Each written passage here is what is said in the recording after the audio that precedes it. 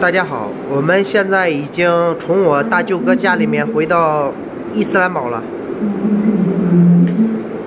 从我大舅哥家回来的时候，我感觉我头痛，呃，就是感冒了。在我大舅哥家住了几天，感冒了啊。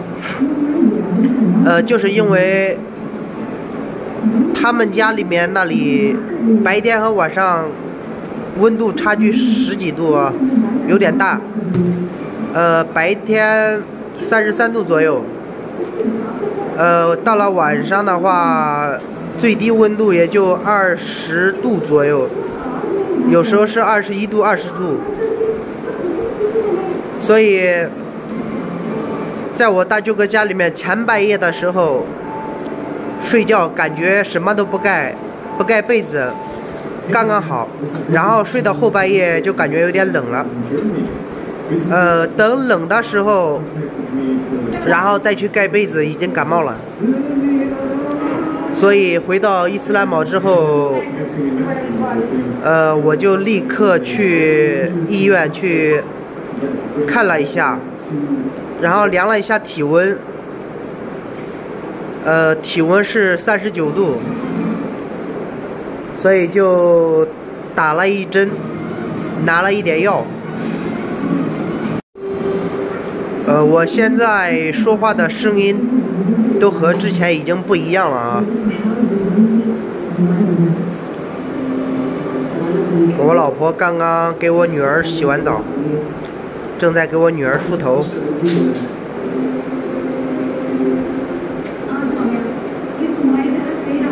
等一下，我们还要出去办理一点事情，因为我们必须要从我大舅哥家回来。因为城市要封闭，再加上过过两三天啊，这里又是呃屠宰节，不止巴基斯坦一个国家有屠宰节，还有中东国家有很多国家都要过这个屠宰节。在我大舅哥家，我们洗澡的时候。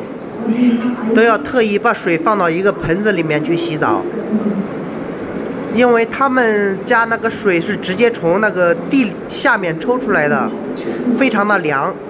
他们那边有山，山比较多啊，所以比较凉一点。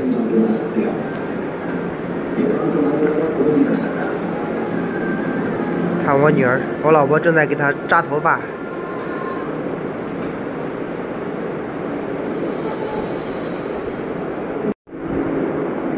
我现在不敢离我女儿太近了，害怕把感冒传染给她。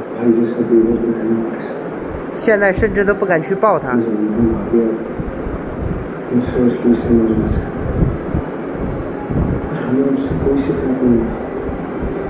看我女儿想抓她的奶嘴儿，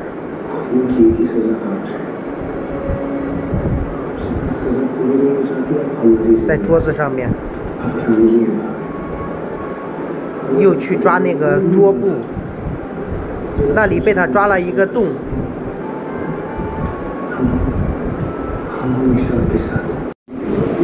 其实我们在国外，咱们中国政府也是一直呃关心我们的安全，因为每当某个国家或者某个地方。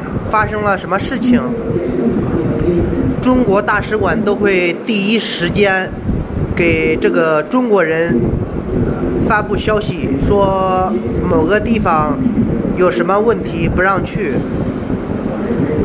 呃，其实我在这里收到过很多次中国大使馆给我发来的信息，比如说某某地方呃有什么问题。然后就是不能去。上一次，中国给大使馆给我们发信息，说某某地方，然后就是说暴乱嘛，然后就是让我们注意安全，没有必要的情况下不要去什么什么地方。其实中国大使馆一直都在关注着所有的中国人，在巴基斯坦的中国人也挺关心中国人的安全问题。就在前两天，呃，有一个地方发生了爆炸，然后有中国人受到伤害。我想大家在国内也看新闻，也可能看到了，所以大使馆就又给我们发信息说，呃，如果说没有特别重要的事情，不要往什么什么地方去，一定要保护好自己的人身安全和财产安全。有一个强大的祖国做后盾。其实，就算在国外，也感觉到很安全。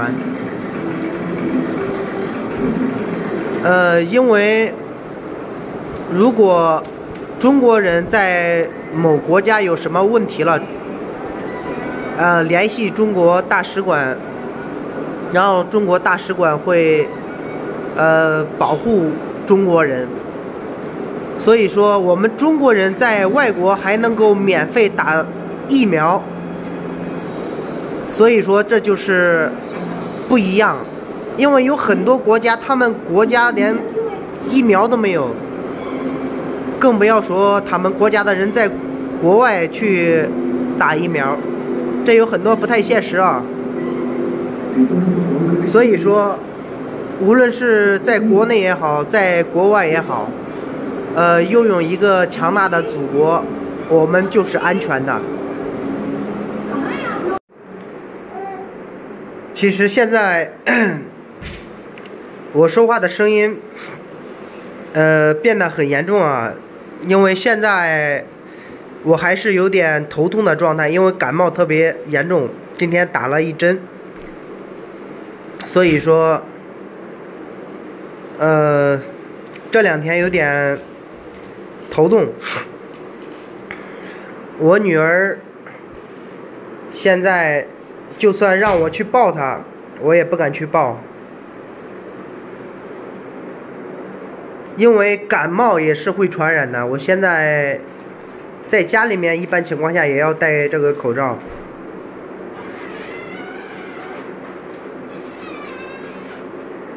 看我女儿趴在这里，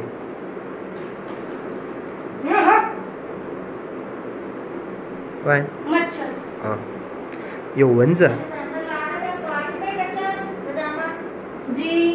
我女儿刚刚吃饼干，吃的脸上都是饼干，所以用湿巾纸给她擦一下。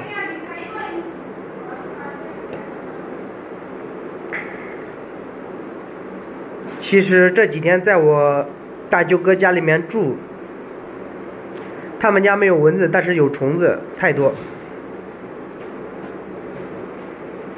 好了，今天我们的视频。就拍到这里，非常感谢大家收看我们的视频，也非常感谢大家的支持，非常感谢大家。